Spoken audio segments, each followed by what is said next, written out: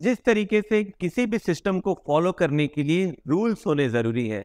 बिना रूल्स के कोई भी सिस्टम ठीक से फॉलो नहीं हो सकता। बिल्कुल इसी तरीके से अकाउंटेंसी के सब्जेक्ट में डबल एंट्री सिस्टम को फॉलो करने के लिए, अच्छे से इम्प्लीमेंट करने के लिए भी रूल बनाए गए, जिसमें से पहला और सबसे ज़्यादा मोस्ट पॉपुलर जो रूल है, इसे हम लोग बोलते हैं गोल्डन रूल और आज के इस वीडियो में मैं आपको बताऊँगा गोल्डन रूल के बारे में।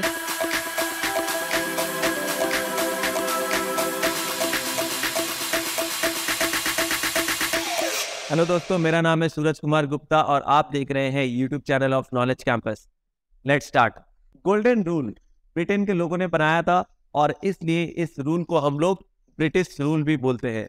और ये जो गोल्डन रूल है, इस रूल के अंदर तीन तरह के कैटेगरीज को बनाया गया है, जिसमें से सबसे पहला है रियल अकाउंट दूसरा है पर्सनल अकाउंट और तीसरा है नॉमिनल अकाउंट ये तीन अलग अलग तरह की कैटेगरीज बनाई गई है गोल्डन रूल्स में।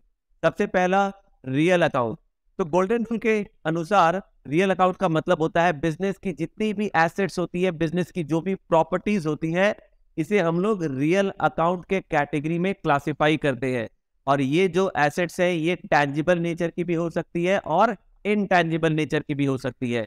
यानी कि बिज़नेस की कोई भी एसेट्स या प्रॉपर्टी चाहे वो टैंजिबल हो या इनटैंजिबल हो, ये सारे के सारे रियल अकाउंट के कैटेगरी में आते हैं।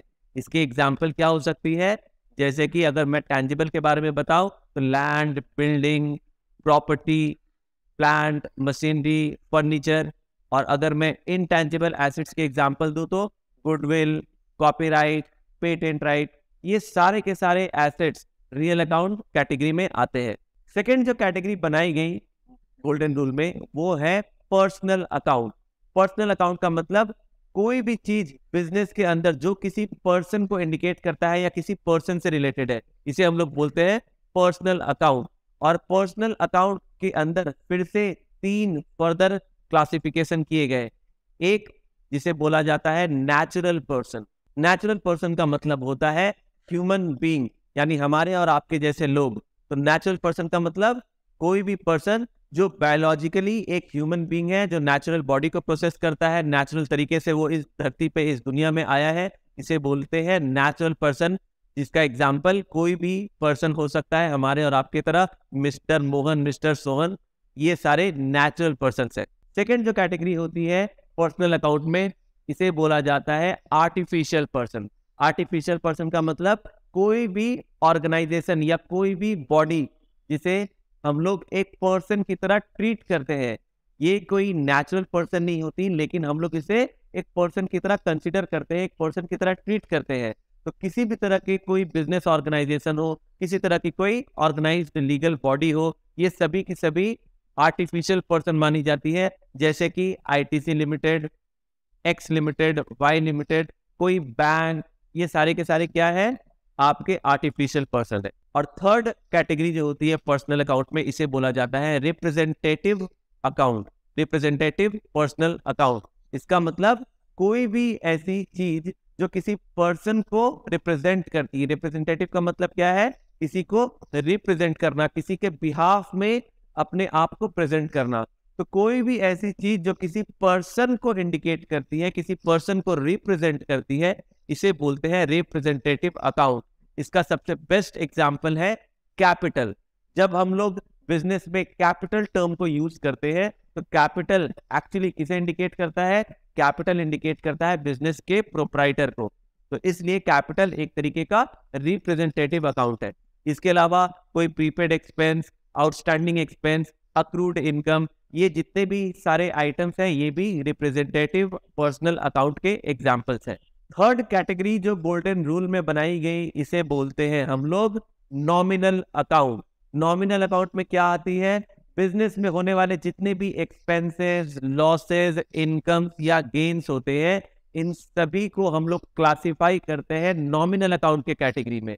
यानी नॉमिनल अकाउंट जो है, ये इनटेंजिबल नेचर की होती है, इसके अंदर सारे बिज़नेस के एक्सपेंसेस, लॉसेस, इनकम और गेन्स आते हैं। जैसे कि कोई सैलरी का पेमेंट हुआ सेल्स किया हमने गुड्स की परचेस करी, ये सारे के सारे जो भी एक्सपेंस या इनकम है, ये सभी क्या है? नॉमिनल अकाउंट अगर हम लोग इस वीडियो को समराइज करें तो हमें पता चलेगा कि गोल्डन रूल के अंदर तीन कैटेगरी है और सबसे पहला है रियल अकाउंट जिसमें बिज़नेस के सारे टैंजिबल और इनटेंजिबल एसेट्स आते हैं। दूसरा है पर्सनल अकाउंट जिसके अंदर तीन तरह के पर्सन होते हैं नेचुरल पर्सन हमारे और आपके तरह और आर्टिफिशियल पर्सन जिसमें कोई बिज़नेस ऑर्गेनाइजेशन या कोई लीगल बॉडी होती है और तीसरा रिप्रेजेंटेटिव पर्सन जिसका मतलब जैसे कि कोई किसी पर्सन को रिप्रेजेंट करता है, जैसे कि capital third category golden rule के अंदर है नॉमिनल अकाउंट जिसके अंदर बिज़नेस के सारे expenses losses income and gains classify किए जाते हैं। ये तो हो गई सारे के सारे कैटेगरीज जो गोल्डन रूल में बनाए गए हैं। लेकिन आखिर गोल्डन रूल क्या है? अभी तक तो हमने किसी रूल के बारे में बात नहीं किया। तो अब मैं आपको बताने वाला हूँ गोल्डन रूल तैयार हो जाइए। ये अकाउंटेंसी के सब्जेक्ट की सबसे इंपॉर्टेंट रूल है, जो अब मैं आपके साथ शेयर करने वाला हूँ। गोल्डन रूल कोई एक अकेला सिंगल रूल नहीं है। गोल्डन रूल के अंदर तीन तरीके के अलग अलग रूल्स हैं। तीन रूल क्यों है? तीन कैटेगरीज के लिए अलग अलग रूल्स बनाए गए हैं। गोल्डन रूल में तीन कैटेगरीज है, अभी मैंने आपको बताया। सबसे पहला रियल अकाउंट दूसरा पर्सनल अकाउंट और तीसरा नॉमिनल अकाउंट तो ये तीन अलग अलग कैटेगरीज के लिए गोल्डन रूल में तीन अलग अलग रूल्स भी बनाए गए हैं। सबसे पहला जो रूल है, वो है रियल अकाउंट के लिए, दूसरा रूल है पर्सनल अकाउंट के लिए, तीसरा रूल है नॉमिनल अकाउंट के लिए। अब एक एक करके हम लोग क्या करते हैं वन बाय वन तीनों रूल्स को समझते हैं।